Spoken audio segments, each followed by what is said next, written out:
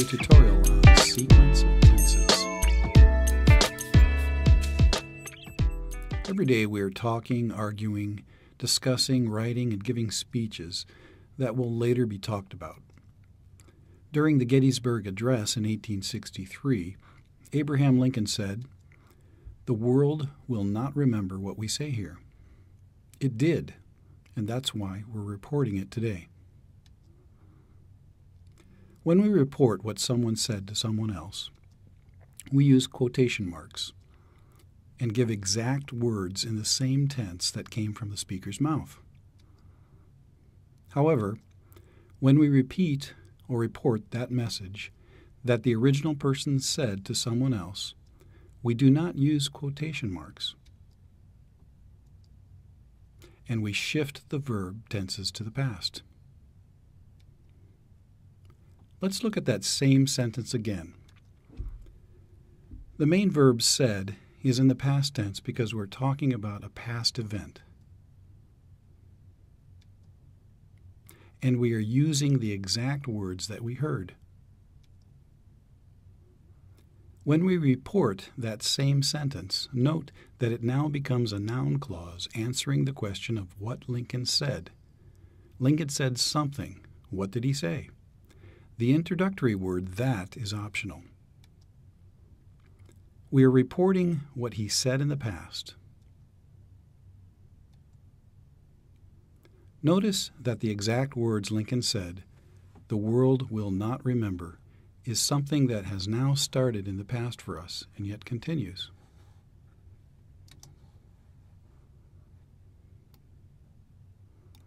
And the thing that the world would not remember is what was originally said back in Lincoln's day. Here's another sentence Lincoln made in that speech about the memory of the world to come. Notice that it is a quotation with the reporting verb said. In the reported speech, the cannot changes to could not, and the fought changes to had fought. Both of these actions are past to us now, but still need to be shown in relationship to the time that Lincoln said the words. Cannot forget would be something that would happen after his speech, becoming could not, since it is past to us now. And the mention of the soldiers who fought happened before his speech, thus the past perfect tense. Let's look at this in terms of a quotation about a future event. The sentence from the professor, I will correct your homework tonight, is something that is being said at the moment. However, the next day, if you ask me what the professor said, in other words, wanted me to report to you about it, we would be talking about yesterday. Let's see how the verb in that original quotation, will correct, and the reference to tonight pan out. Remember, everything shifts to something that was now said yesterday in relationship to the report being given now. First of all, something was said yesterday. And the will correct now becomes would correct in relationship to the event of saying it. The reference to tonight is no longer true, and we need to shift that time to last night since it is already past. Here's another case of a future reference.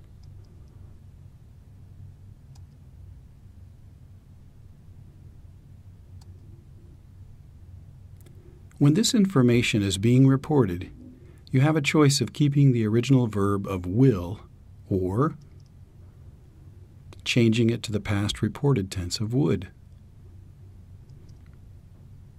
Now let's look at some of the basic principles of making this shift. We must change the quoted verb to the past form. That is because we are talking about something that has happened in the past. Past tense, however, can actually mean one step back as we will see in the next few slides. That is why we call this a sequence of tenses. The tense shifts from the original form in the quoted speech to one step back in the past to the reported form. With the original quotation of, I watch TV every day, we would report it that he watched TV every day, one step back. Am watching would become was watching. Have watched would become had watched. Watched would become had watched. Again, notice the one step back shifting. However, had watched stays the same because we are at the end of the past tense sequence in English. Will watch becomes would watch, and am going to watch becomes was going to watch. For most modals, we can shift it back to the past tense form of the modal. Can becomes could, may becomes might, must becomes had to, since there is no past tense form of must. Have to becomes had to. For some modals, there are exceptions, meaning that there are no changes such as should, ought to, and might. There are times when we didn't quite catch what the speaker was saying and we need a friend to give us an immediate report. In these cases, we should stick to the same verb tense that the speaker used. In this case, the professor probably said, I want you to submit your outlines tomorrow. So our classmate repeats to us that he, the professor, wants us to submit them tomorrow. When the time between the actual quote and the report becomes longer, it is here that we would shift the sequence to the past tense.